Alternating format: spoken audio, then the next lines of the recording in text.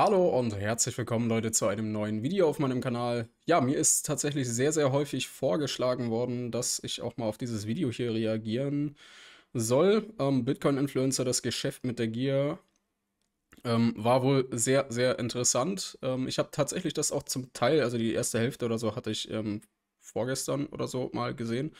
Ja, fünf Tage ist es jetzt alt. Ähm, ja, von daher machen wir mal so eine kleine Reaction darauf. Ja, das Geschäft mit der Gier, ich bin gespannt. Ähm, wie gesagt, die ersten zehn Minuten hatte ich vor ein paar Tagen schon mal gesehen. Ähm, da wird auf jeden Fall so auf die, ja, dieses Spiel mit den Emotionen drauf eingegangen von den ganzen Moonboys, weil man hier schon äh, die Thumbnails sieht. Äh, sehr, sehr interessant. Schauen wir uns auf jeden Fall mal an. Irrwitzige Gewinnversprechen mit Bitcoin, fragwürdige Chartanalysen und zehntausende Klicks. Das ist die bizarre Welt der Krypto-YouTuber. Heute für den Bitcoin und Ethereum Preis. Leute, die nächste Bewegung, die nächste Preisbewegung für Bitcoin und Ethereum wird höchstwahrscheinlich die Welt schockieren. Also hier wird ganz klar mit der, mit der Gier der Menschen, vor allem junger Menschen, gespielt. Auf YouTube und Insta protzen sie mit ihrem Reichtum. Leute, es wird direkt mal wieder Zeit für ein Update-Video zum Bitcoin-Kurs. Ich befinde mich gerade im Landeanflug nach Dubai, wie ihr hier gerade sehen könnt. 200.000 Abos bei YouTube. Und auf kritische Fragen antworten sie so. Die Leute, die an der Spitze von etwas sind, die polarisieren.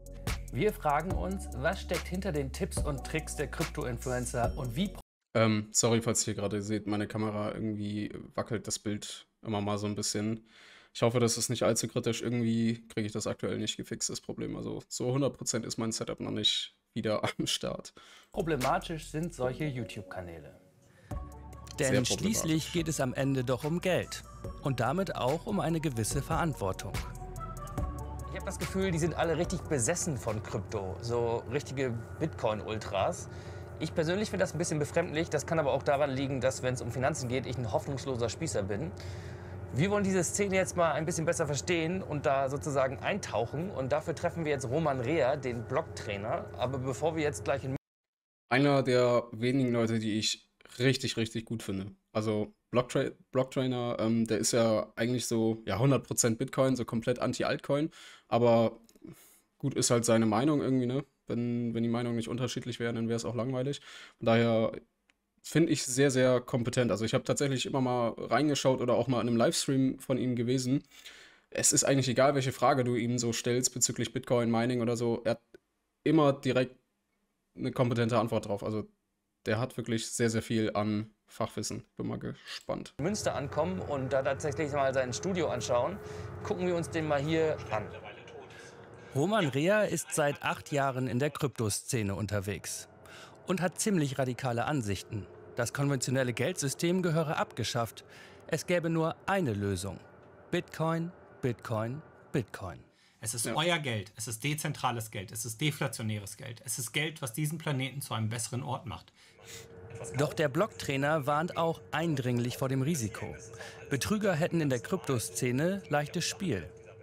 Bitcoin selbst gibt es erst seit gut zwölf Jahren und dieser ganze Space ist natürlich für viele Menschen absolutes Neuland. Und genau das ist das große Problem an dieser Sache, weil zum einen kann man so sehr leicht auf Betrug hereinfallen oder generell auch auf Produkte reinfallen, die einfach noch nicht gut sind, weil das eben so ein junger Space ist.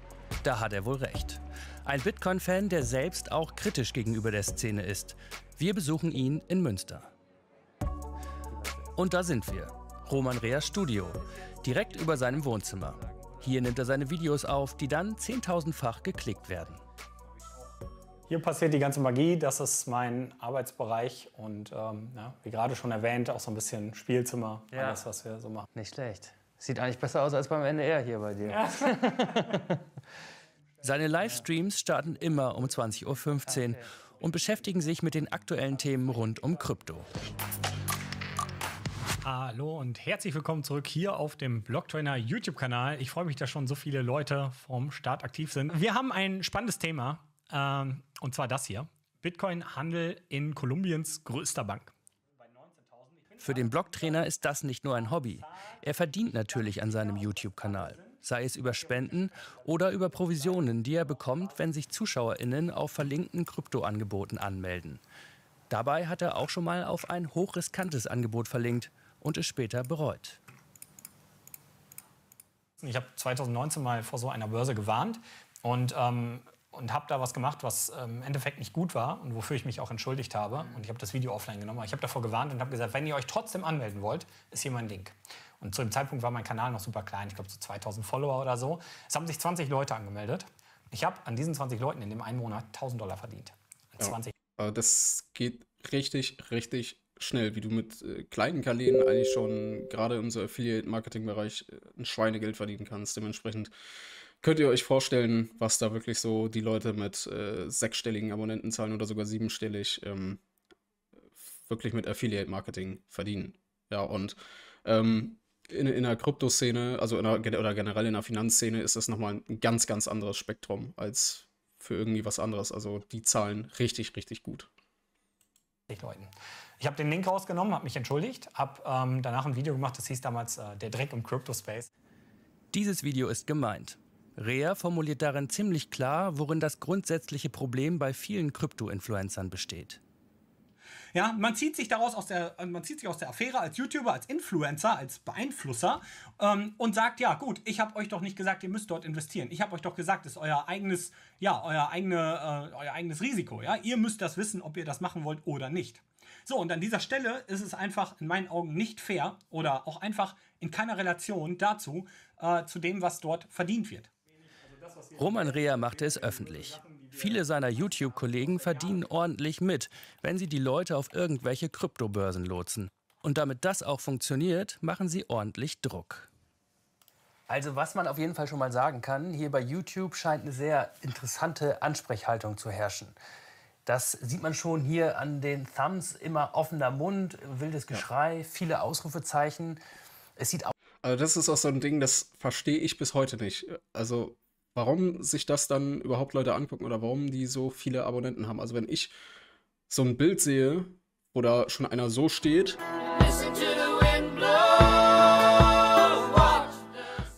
und dann Caps Lock, wahrscheinlich schreit er auch noch, wenn er, wenn er, wenn er äh, den Titel schreibt, warum sich das die Leute angucken. Also wenn ich sowas sehe, ähm, habe ich im Vorfeld eigentlich schon keinen Bock mehr auf dieses Video, wenn da irgendwie steht, ja, wie gesagt, Gesicht offene Futterluke und dann ähm, so reinschreiben, ja, Achtung, letzte Chance, XRP zu kaufen, ansonsten morgen 500 Dollar. So, weil du weißt halt im Vorfeld, das stimmt nicht, was er in diesem Video sagt. Du weißt nicht, was, äh, du weißt ganz genau, dass es nicht passieren wird. Warum schaut man es dann? Also, das verstehe ich bis heute nicht. Also, das sind, das müssen, das können nur wirklich die Anfänger sein, die da äh, wirklich reingelockt werden in so eine Falle, weil ich kann mir nicht vorstellen, dass irgendjemand, der wirklich lange im Krypto-Space drin ist, die Materie versteht, dass der diese Leute anguckt. Das kann ich mir nicht vorstellen. aus, als wollten die YouTuber hier Panik verbreiten. Und wenn ich das sehe, dann habe ich das Gefühl, ich müsste jetzt sofort handeln und irgendwas tun. Ja. In ihren Genau Videos so ist es. aufgeregte Kursvorhersagen. Leute, es wird direkt mal wieder Zeit für ein Update-Video hier zum Bitcoin-Kurs, denn wir haben gerade eben ein grausames Breakout Äh, filmen die alles auch noch mit ihrem Handy oder was? Okay. nach unten aus einem Chart-Pattern gesehen, was sich tatsächlich über die letzten paar Stunden am heutigen Tag auf dem 1-Stunden-Timeframe geformt hat. Ich frage mich ja, muss er eigentlich atmen oder redet er einfach durchgängig und hat so eine Atemtechnik, wo man vielleicht redet und atmet gleichzeitig? Unter den Videos, hier etwa von Sunny Decree, geht es über sogenannte Affiliate-Links direkt zu der Kryptohandelsbörse Femex. Für jeden vermittelten Kunden kassiert er eine Provision. Daraus macht er auch kein Geheimnis. Das Video ist nicht gesponsert von Femex. Also nein, ich wurde von Femex nicht bezahlt. Aber natürlich habe ich wie immer unten einen Affiliate-Link für diesen Exchange. Ähm, zwei Dinge. Also erstmal den Sunny Decree würde ich eigentlich nicht in diese Gear Moonboy-Geschichte reinstecken in dieselbe Schublade. Den halte ich eigentlich für relativ gut. Ich habe auch ähm, gerade so im Crash, als das im Mai passiert ist, ähm, immer mal ein Video von ihm gesehen. Waren eigentlich ziemlich gute, zutreffende Analysen, die er da gemacht hat. Aber die Geschichte, dass er nicht gesponsert wurde, kaufe ich ihm nicht ab, weil Femex hat tatsächlich bei mir auch angefragt und ich wäre auch bezahlt worden. Ich habe das nicht angenommen und ich meine, ich, mein, ich weiß jetzt, ich glaube 30.000 Abonnenten oder so hat er irgendwie. Also ich habe ja nicht mal die Hälfte an Abonnenten von ihm und ich wäre schon bezahlt worden dafür, dass ich ein Tutorial aufnehme. Und den Affiliate-Link obendrauf. Also das kann ich mir nicht vorstellen, dass er da dann nicht bezahlt worden ist, weil warum sollten die mir ein Angebot machen, ihm aber nicht? Das, das macht relativ wenig Sinn. Oder, oder umgekehrt, warum sollte er sich dann hinsetzen und sagen, ja, ich mache zwar ein Tutorial, aber euer Geld nehme ich nicht an. Das macht keinen Sinn.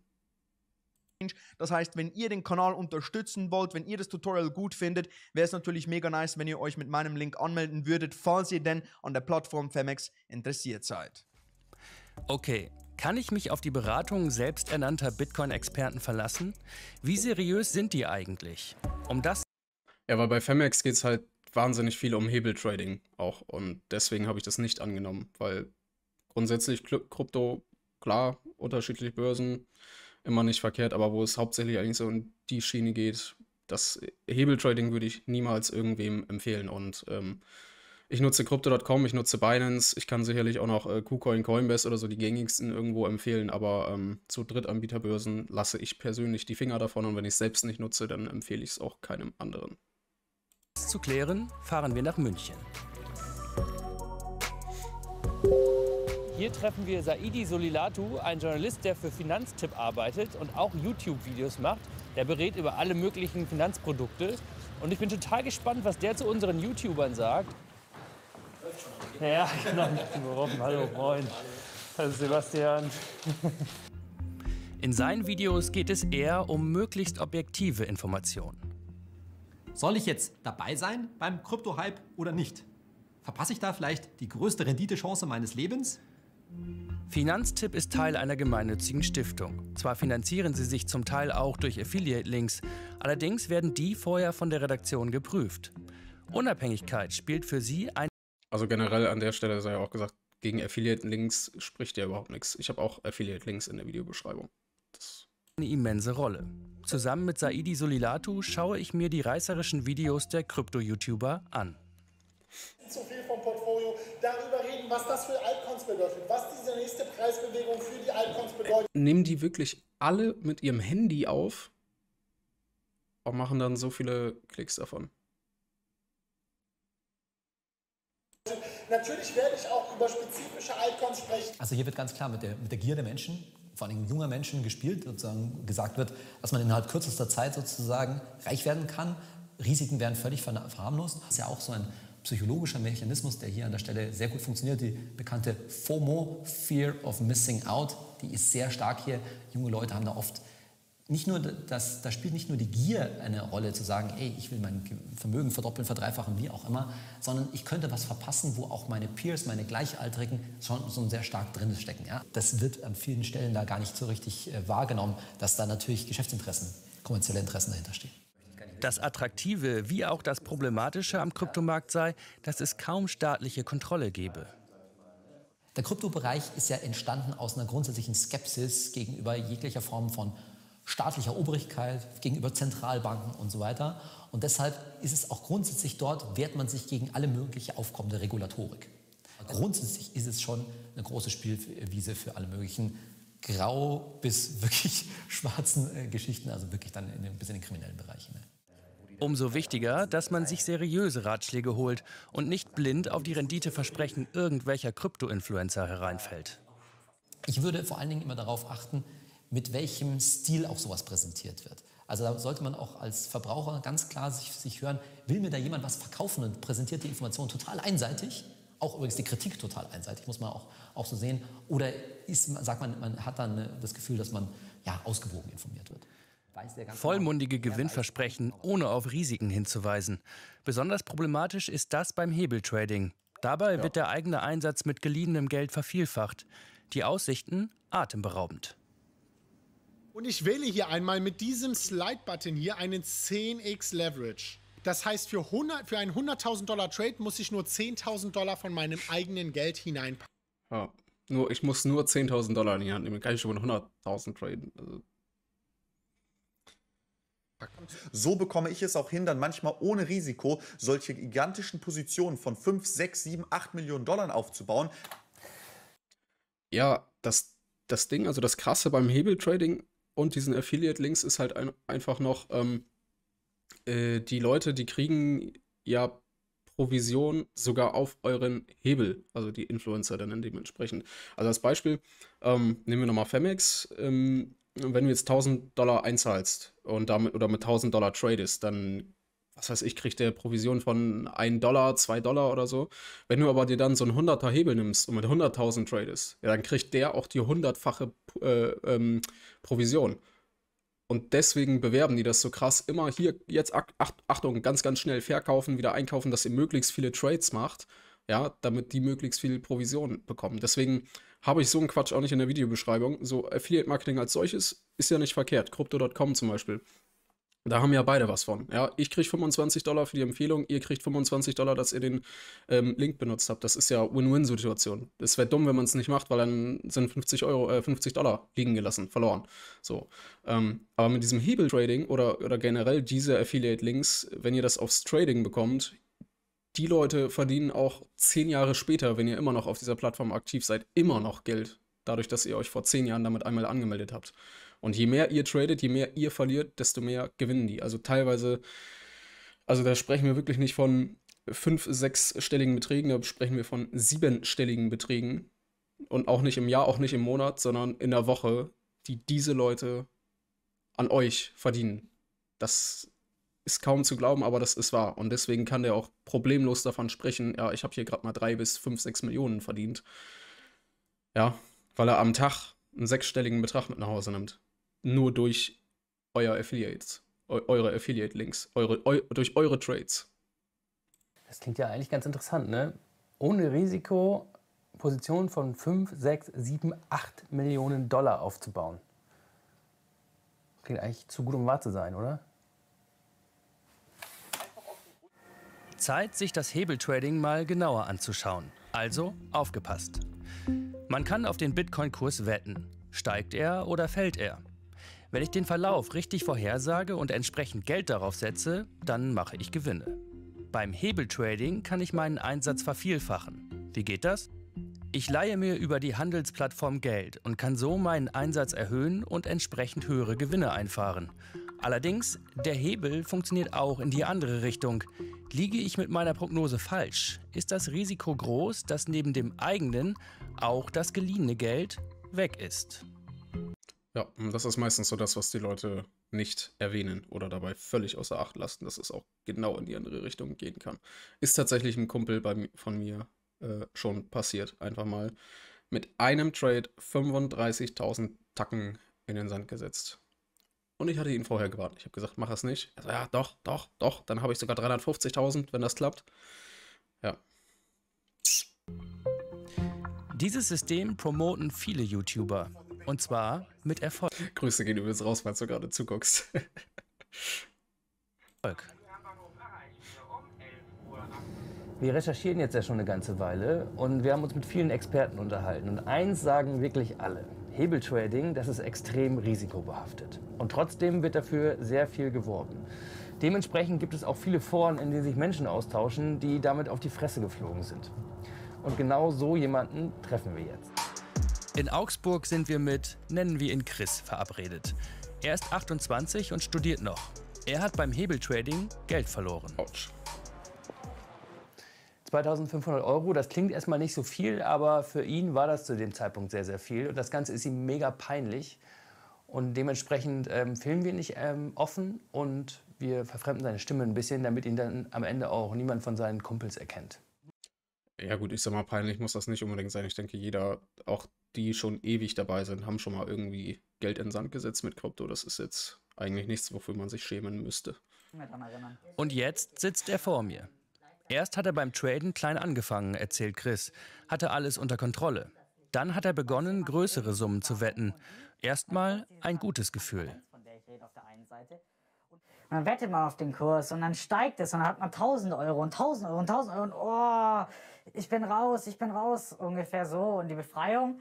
Und dann kommt natürlich auch die Klatsche entsprechend äh, wieder zurück äh, auf den Boden der Realität. Denn durch den Hebel gewinnt er nicht nur. Äh, es ist mir selber damals auch passiert, also gar nicht durch Hebeltrading, aber ähm, beim Forex-Trading war es so, ich habe halt erst alles richtig gemacht, mit immer nur mit 1% Risiko ähm, getradet und es hat halt einfach immer funktioniert. Ich habe ich hab nicht einen Verlusttrade gehabt von 20 Stück oder so. Und dann habe ich gedacht, ja, okay, krass, wie einfach ist die Geschichte denn? Ja, Risiko verdoppelt, verdreifacht und dann habe ich in, in einer Woche das verloren, was ich vorher in drei Monaten gewonnen habe. Das sind halt einfach Erfahrungen, die man machen muss. Ist dann nur die Frage, macht man weiter oder sagt man, nee, Trading ist Scam, Crypto ist Scam, da will ich nichts mehr mit zu tun haben. Sondern verliert am Ende. Und zwar alles. Das hat dann die Füße und äh, den Boden unter die Füße weggezogen. So. Hm, Ich habe mich so gefühlt wie in so einem Traum, in so einer Schwebe, so. Nee, nee, nee. Und Mein Kopf hat so sozusagen in so einer leichten Betäubtheit durchgerechnet, wie lange man arbeiten muss, wie lange man hätte leben können von dem Geld, was man gerade verspielt hat. Ähm, das ist genau das, was du auf gar keinen Fall machen darfst. So, egal ob du gewinnst, ob du verlierst, niemals diese hätte, wäre, wenn Szenarien durchgehen, weil du hast es nicht und das musst du abhaken. Das ist das Schlimmste, was du danach machen kannst. Fehleranalysen Sicherheit, äh, mit Sicherheit, klar, aber niemals solche hätte, wäre, wenn Szenarien durchgehen. Das macht dich nur noch mehr kaputt. Versucht es runterzuschlucken, aber der ganze Magen dreht sich irgendwie. So, weil einem bewusst ist, es ist alles weg. Ich kann nichts tun. Es ist alles weg und ich kann jetzt nur noch blöd gucken und es wieder reinarbeiten. Über ein Tutorial auf dem Kanal von Sunny Decree sei er via Affiliate-Link auf die Kryptobörse Femex gelangt, erzählt Chris. Von der Gebühr, die er an die Plattform zahlte, müsse auch ein Teil an Sunny Decree geflossen sein. Mein Geld ist jetzt auch in seinem neuen Sportwagen drin. Das ist dann halt wieder so ein Ding, das ist halt seine eigene Schuld dann in dem Fall. Ne? Also klar wird das da irgendwie aggressiv beworben oder so, aber letztendlich ist jeder da für sich selbst verantwortlich und niemand hat ihn gezwungen, das zu machen. Und wer Hebeltrading einfach betreibt, ohne sich irgendwie darüber zu informieren, also nur mit der Info Information des Influencers reingeht, äh, klar ist das irgendwo gemein, aber das ist dann einfach noch 100% die eigene Schuld. Also da kann man jetzt einen Sunny Decree nicht für sagen, ja, nur meinetwegen fährst du jetzt einen Sportwagen. Das ist Quatsch. Statt dass ich jetzt äh, mir einen Führerschein davon holen kann, fährt er einen Millionenwagen oder Hunderttausende. Was auch immer, das Lamborghini, halt super Sportwagen. Also Chris ist jetzt gerade hier aus der Tür raus und ich meine, rund 3000 Euro, was er da am Ende verspielt hat, das ist natürlich viel Geld, aber für ihn war es richtig viel Geld. Ihm hat das richtig wehgetan und äh, die Story so zu hören, das fand ich echt ein bisschen bedrückend. Natürlich versuchen wir mit Sunny Decree ins Gespräch zu kommen. Ihr erinnert euch, das ist er. Zwar warnt er in seinem Video kurz vor dem risikoreichen Hebeltrading, Dann noch eine allgemeine Warnung, Trading oder im speziellen Leverage Trading ist definitiv nicht für Anfänger geeignet. Also man sollte da schon wirklich wissen, was man tut. aber nur um dann Ja, das ist halt genau das Ding. So, und wenn jemand, der noch nie vorher was von Krypto gehört hat, dann trotzdem sagt, ja, ey, ich versuch's und ich butter da mein ganzes Geld rein, der muss auf die Fresse fliegen. Muss er. Also, sollte jetzt nicht schadenfroh oder so klingen, ne? Ähm, ich denke, ihr wisst, was ich meine. danach ein Anfänger-Tutorial für genau die Börse zu machen, auf der Chris sein Geld verloren hat. Sieh doch erstmal die E-Mails durch. Wir erreichen Marco B., so heißt Sunny Decree wirklich, telefonisch. Ein Interview will er uns nicht geben. Stattdessen schreiben wir eine Mail und kriegen auch schnell Antwort. Ja, also da sagen dann ja wahrscheinlich auch viele, ja, der drückt sich vom, vom Interview, aber ganz ehrlich, an die Wand nageln lassen würde ich mich da auch nicht, nur weil ein, einer da jetzt äh, Geld drüber verloren hat, wofür er selbst verantwortlich ist, äh, mir das dann irgendwie in die Schuhe schieben zu wollen, da hätte ich persönlich auch keinen Bock drauf gehabt, wenn das der Fall gewesen wäre. Zwei Sätze finde ich ganz sehr interessant. Und zwar, klar kann man hier von der ethischen, moralischen Seite aus argumentieren, dass dies zu Verlusten führen kann und für die Mehrheit auch wird. Genau wie man solche ethischen und moralischen Fragen bei einem Casino oder McDonalds stellen kann. Ja, das ist halt auch so. Also wer als Anfänger Hebeltrading betreibt, ähm, der macht nichts anderes als im Casino eigentlich auf Rot oder Schwarz setzen. Also, und von daher mit, mit Trading, mit diesem Online-Geld, dann da hast du ja noch weniger Bezug eigentlich zum Geld, weil's, weil du halt nicht in das Spielo reingehst und tatsächlich irgendwie die Scheine oder so in der Hand hast. Ja, das ist halt das Ding. Nach meiner vierjährigen Erfahrung kann ich klar sagen, es sind massive Gewinne mit Hebeltrading realisierbar, jedoch nur für die Besten. Genau wie 90% aller Startups wieder schließen, würde ich sagen, dass ca. 90% der Menschen, die Trading ausprobieren, wieder davon ablassen sollten oder werden. Ja, und das ist aber auch genauso das Ding. ähm, warum so viele Sche oder warum Krypto als solches eigentlich so einen schlechten Ruf hat, weil ähm, auch wieder der ähm, Blocktrainer am Anfang gesagt hat, Bitcoin, Krypto, Trading, das ist einfach noch ein Startup. Das, äh, so wie man es heute machen kann, existiert jetzt seit acht bis zwölf Jahren. Es gibt wenig Leute, die diese Materie überhaupt verstanden haben und noch weniger Leute, die das dann auch vernünftig an den Mann bringen können. Und wenn du da dann solche Moonboys hast, wo es nur um die eigene Tasche geht, dann ist halt klar, dass extrem viele Leute ihr Geld verlieren. Und die das dann selbst aber nicht hinterfragen. So, die dann, die würden niemals auf die Idee kommen und sagen, ja, ey, ich habe nicht funktioniert, ich habe was falsch gemacht. Nein, Trading ist Scam, Krypto ist Scam. So, das ist halt dieses, das Problem. Ähm, weil das natürlich auch so vermittelt wird, von wegen, ja, hier heute anfangen, nächste Woche reich sein, aber das ist es halt einfach nicht. Du musst dich mit Trading intensiv beschäftigen. Und mit intensiv meine ich nicht ein paar Wochen, ein paar Monate, auch nicht ein Jahr, auch nicht zwei Jahre.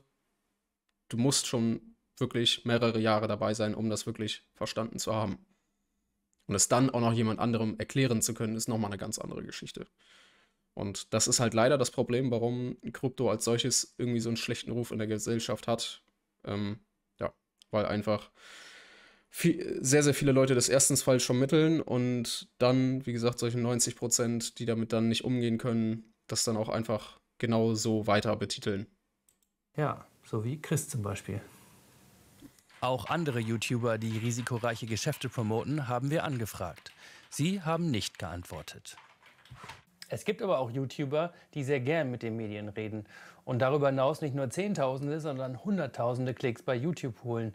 Julian Hosp ist in der deutschsprachigen Krypto-Community derjenige mit dem größten YouTube-Kanal, 200.000 Abonnenten. Und auch bei ihm geht es ums große Geld. Vorausgesetzt, man hat das richtige Mindset, um reich zu werden von 0 auf 100 Millionen in zwölf Jahren. Der Punkt ist, wer ist bereit, das zu tun? Wer ist bereit, die Opfer zu bringen? Und wenn du die erste Million hast, dann ist es total, also wirklich total um ein Vielfaches leichter, auf die 2 Millionen, auf die 3 Millionen, auf die 10 Millionen zu kommen. Die Ansprechhaltung nicht ganz so schrill. Fakt ist aber, auch Julian Hosp möchte etwas verkaufen. Und zwar sein eigenes Unternehmen, Cake DeFi. Die Plattform verspricht ihren AnlegerInnen Gewinne durch Investitionen in Kryptowährungen. Hosp verspricht ganz selbstverständlich sehr hohe Renditen. Die Renditen dort reichen manchmal von 5%, gehen rauf auf 70, 80, 90%, hängt eben vom Coin ab und ja, ist extrem transparent, extrem nachhaltig, ein unglaublich schönes Einkommen. Würde ich dir absolut empfehlen, dass du dir das ganze Staking anschaust. Verkaufen kann er. Erste Erfahrungen damit sammelt er bei der Firma Lioness, die über mhm. Jahre hinweg ein Schneeballsystem vermarktet ja. hat. Viele Leute haben Geld verloren. Danach ist er Mitgründer einer Firma. Die sammelt Millionen ein, um als Produkt eine Kryptokreditkarte rauszubringen, ohne Erfolg. Viele Anleger fühlen sich bis heute betrogen. Was als ja, das ist halt auch so ein Ding, das haben mich schon richtig viele mal gefragt, was ich von dem halte. Ähm, und das sind solche Geschichten. Ich meine, ich kann hier jetzt keine Angaben ohne Gewähr geben. Ich, ich stecke selber an der Materie, also von damals von ihm nicht drin äh, und auch Cake DeFi habe ich mir nicht angeschaut, aber das sind so Dinge, die mich persönlich immer abgehalten haben. Ähm, und generell ist er einfach jemand, der mir zu viel labert. Also er hat dann ja teilweise so 30 Minuten Videos, er redet 30 Minuten ohne irgendwas zu sagen. Also du kannst theoretisch jedes Video von ihm so in 30 Sekunden zusammenfassen. Aber ähm, an der Stelle sei auch gesagt, ich will hier absolut nicht seine Kompetenz oder so anzweifeln. Im Gegenteil, ich halte ihn eigentlich für sehr, sehr kompetent. Ähm, wird sicherlich auch mehr drauf haben als ich in dem Bereich. Und ich kenne auch, auch von Kumpels sehr, sehr viele Leute, die ähm, da auch in seinem Inner Circle oder sowas drin sind und auch sehr, sehr gute Renditen fahren. Ähm, von daher, was in der Vergangenheit gewesen ist, muss nicht heißen, dass es heute weitermacht. Es kann sein, dass das alles legit ist und sehr, sehr gut funktioniert. Ähm, deswegen, das will ich gar nicht anzweifeln, aber es waren trotzdem immer so Gründe, warum ich persönlich da die Finger von gelassen habe. Von daher. Aber ähm, wie gesagt, geht absolut nichts gegen seine Kompetenz oder so. Ich halte ihn für sehr, sehr kompetent. Ja, schauen wir mal weiter. Also ist von seinen vollmundigen Versprechen zu halten. Wir fragen nach einem Interview. Julian Hosp wohnt inzwischen nicht mehr in Europa, sondern in Singapur. Dementsprechend verabreden wir uns via Skype. Wie würden Sie selber denn Ihren YouTube-Kanal beschreiben? Was machen Sie da in erster Linie? Ich rede ganz klar eindeutig über Bitcoin, Kryptowährungen, über meine Investmententscheidungen, wie ich den Markt zurzeit so ein bisschen sehe. Ich versuche Leute ein bisschen an die Hand zu nehmen, Ich bin jemand, der sehr transparent vor allem meine Erfahrungen, meine Entscheidungen vor allem auch präsentiert. Was er aber auch tut, seiner Followerschaft etwas verkaufen. Und zwar ein Finanzprodukt mit sehr hohem Risiko. So hoch, dass er in seinen AGB schreiben muss, dass die Kunden ihr Geld auch jederzeit verlieren können. Ja gut, das steht überall drin. Egal auf welcher Börse du dich anmeldest, egal für welchen Broker du dich entscheidest. Ähm, ja, genauso wie bei Trade Republic, Crypto.com oder was auch immer, was man alles nutzen kann, das steht, das steht überall drin. Also das ist definitiv kein Argument. Das ist für mich, klingt das erstmal nach einem Widerspruch. Nee, weil ich meine, Kryptowährungen sind volatil. Was soll ich da machen? Ich kann, ich kann nicht, ich kann keine Rendite auf Dollar versprechen. Wenn, wenn, wenn jemand damit nicht umgehen kann, dann würde ich ganz klar sagen, ey, geh auf die Sparkasse, zahl deine 0%, zahl 0,1% äh, Zins, Zinsstrafgebühr oder 1% oder mach deinen Bausparer. Wir haben uns bei der deutschen Finanzaufsicht BaFin nach Julian Hosp erkundigt. Kurz darauf meldet die, sie ermittelt gegen Cake DeFi wegen unerlaubter Geschäfte. Das habe ich auch schon gehört. Weil die nämlich keine Erlaubnis haben, hierzulande Finanzdienstleistungen anzubieten. Dabei hat Julian Hosp gerade letztes Jahr noch großspurig angekündigt, Deutschland ist einer unserer Kernmärkte und daher peilen wir auch an, dass wir den überwiegenden Anteil an neuen Kunden in Deutschland gewinnen können. Davon will er im Interview plötzlich nichts mehr wissen.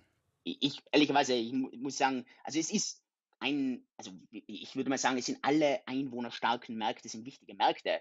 Ähm, unser Ziel ist natürlich, dass der Großteil der Deutschen Cake kennt. Aber für uns ist jetzt nicht irgendwie ähm, Cake ein, äh, Deutschland ein wichtiger Markt als irgendwelche anderen. Ich habe jetzt mit relativ vielen Expertinnen und Experten gesprochen und der ein oder andere sagt dann schon, wenn es um Julian Hosp geht, äh, rollen mit den Augen.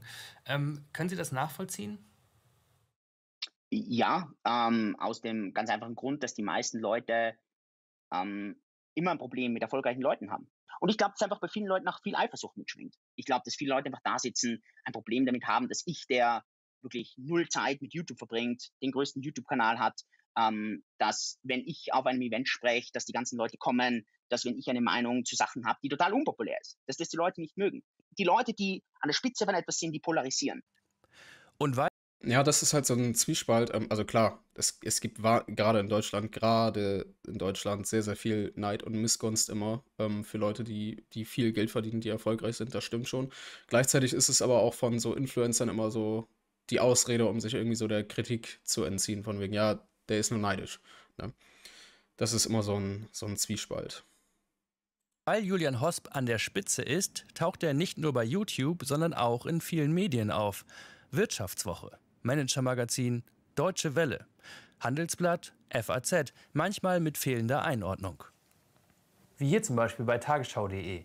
Hier wird Julian Hosp als Blockchain-Experte und Berater zahlreicher EU-Arbeitsgruppen vorgestellt. Hier sagt er noch im letzten Jahr, mich persönlich würde es auch nicht wundern, wenn Bitcoin die magische 100.000 Dollar Marke bis Weihnachten knacken würde. Gute zwei Monate später steht der Bitcoin bei knapp 38.000 statt 100.000. Ist halt nur eine falsche Prognose. Ne? Das ist ja in dem Fall nichts, nichts Schlimmes. Deswegen, nur weil, weil er einmal falsch lag, heißt es nicht, dass er keine Ahnung von Kryptowährung hat. So, dann dürftest du gar keine YouTube-Channel mehr schauen, weil jeder hat schon mal irgendwie falsch gelegen. Oder hier zum Beispiel bei Focus.de. Hier heißt es gleich Focus Online-Experte Julian Hosp. Bei beiden Beispielen rät er zu einem Investment in Kryptowährung. Kein Wort über seine Vergangenheit oder darüber, dass er natürlich extrem investiert ist in Kryptowährungen. Wir haben natürlich bei Focus Online und bei tagesschau.de angefragt. Focus Online hat uns nicht geantwortet, tagesschau.de wiederum schon. Und zwar, wir haben ihn nicht als Unternehmer, sondern als Experten und Buchautor befragt. Und außerdem, im Artikel gibt es keine werblichen Äußerungen von Herrn Hosp zu seinem Unternehmen. Wir sprechen mit der Finanzjournalistin Birgit Haas. Würde sie Julian Hosp als Experten interviewen? Ich würde ihn auf keinen Fall einladen. Ähm, er ist der Vertreter eines Unternehmens, äh, das stark davon abhängt, dass Kryptowährungen und alles, was damit zusammenhängt, erfolgreich ist. Deswegen ist er nicht unabhängig und deswegen ist er für mich kein Experte, der Pro und Kontras für mich ausgewogen darstellen kann. Na gut, das, das sehe ich ein bisschen anders, weil ich meine, klar, wenn du einen Krypto-YouTube-Channel hast, natürlich bist du auch in Kryptowährungen investiert. Warum, warum sollte man über Kryptowährungen reden, wenn man selber nichts von Kryptowährungen hält? Ähm, das ist, das finde ich, ist irgendwie ein bisschen Quatsch. Und natürlich, äh, insbesondere wenn man tief in der Materie steckt, geht man davon aus, dass diese Materie Krypto, Krypto als solches erfolgreich sein wird. Und natürlich stellt man das dann auch im Regelfall immer positiver dar als negativ. Das mache ich ja genauso. Und letztendlich hat aber auch ein Julian Hosp hin und wieder habe ich ja mal ein Video von ihm gesehen, auch immer auf Risiken hingewiesen, von wegen, äh, ja, jetzt kannst du auch mal nach unten gehen. Und, und, und ähm, von daher, klar, man muss immer Pro und Contra betrachten, aber das tut man ja auch. Und natürlich bist du eher bullish, eher pro Kryptowährungen. Das ist, das ist sehr logisch, weil du selber für dich ja nicht nur hoffst, dass die Materie erfolgreich wird, klar, und auch ja, sein Unternehmen ist davon irgendwo abhängig, aber generell, du siehst ja auch das Potenzial in Kryptowährungen. Warum solltest du es dann selber schlecht reden oder überhaupt ein Kryptounternehmen gründen, wenn du selber das Potenzial dahinter nicht siehst? Also, das ist ja logisch, dass man eher positiv darüber spricht als negativ. Das Thema Krypto sei noch relativ jung. Dementsprechend fehle in der ein oder anderen Redaktion noch das Know-how und es sei schwer, überhaupt objektive Informationen zum Thema zu finden. Die Informationen sind meistens interessensgeleitet, weil sie eben aus diesen Unternehmen kommen, die diese Welt auch mit aufbauen. Und ähm, das führt dazu, dass man natürlich äh, sehr viele positive Informationen bekommt und negative oft äh, auch äh, an den Rand geschoben werden oder heftig widersprochen wird, äh, zum Teil auch mit, mit Argumenten, die gar nicht so valide sind. Wir haben uns in den letzten Wochen viele YouTube-Videos angeguckt. Einige waren informativ, viele wollten einfach was verkaufen. Finanzprodukte mit hohem Risiko. Und zwar häufig zu ihren Gunsten. Als Journalist muss ich das einordnen können. Aber es kommt auch aufs Publikum an. Will der YouTuber, den ich mir da anschaue, vielleicht noch etwas anderes außer mich zu informieren. Bleibt kritisch. In diesem Sinne, wenn euch der Film gefallen hat oder auch nicht. Ja, bleibt kritisch auf jeden Fall. Also alles in allem gutes Video, aber ähm, den letzten Part mit dem Julian Hosp hätte, hätte man sich, glaube ich, irgendwie ein bisschen sparen können. Verharmlost ausgedrückt. ähm, aber alles in allem, gerade am Anfang, äh, die Geschichte hier mit den Moonboys, äh, ja, das ist schon richtig. Da sollte man definitiv die Finger von lassen. Aber alles in allem, stabiles Video auf jeden Fall, dass das auch mal ja, ein bisschen kritisch auseinandergenommen wurde. Hier genau die Geschichte, das Geschäft mit der Gier. Es geht darum, mit den, äh, bei diesen, genau bei diesen Leuten, die da am Anfang gezeigt worden sind, mit ähm, Angst und Gier, mit den beiden Emotionen an der Börse wirklich äh, aggressiv zu spielen, das auszunutzen von den Leuten, um sich selbst die, die Tasche vollzustecken. Und das ist eine ganz, ganz eklige Geschichte. Und ja, die machen da wirklich siebenstellige Beträge im Monat, teilweise in der Woche. Das ist kein Quatsch. Hier, das ist nicht aus dem Nähkästchen geplaudert. Das ist wirklich so hoch. Ja. Ähm, von daher gar nicht so verkehrt, dass man das mal anspricht und davor warnt. Wundert mich eigentlich, dass das nur 57.000 Aufrufe hat. Ähm, ja. Gut, ähm, ja, das war's mit dem Video. Ähm, mein erstes Reaction-Video hier auf dem Kanal. Schreibt mir das sehr gerne mal um, um in die Kommentare, ob euch sowas der Art gefallen hat.